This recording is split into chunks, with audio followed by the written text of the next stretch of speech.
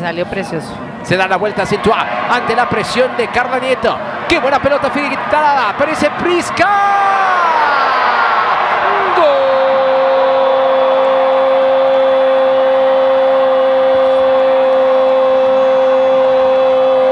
¡De Juárez!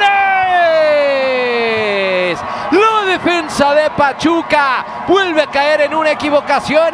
La confianza es la madre del descuido y hubo un descuido en zona baja. Minuto 20, ya lo ganan Bravas. 1-0. Así se estrena como goleadora de las Bravas de Juárez, Prisca Chilufia, la futbolista de Zambia. A pesar de la salida de Stephanie Barreras, le termina ganando por el carril de la derecha Alexandra Godínez. La marca llega para meterle solamente la parte interna del pie derecho y así festeja su primer gol en la Liga BBVA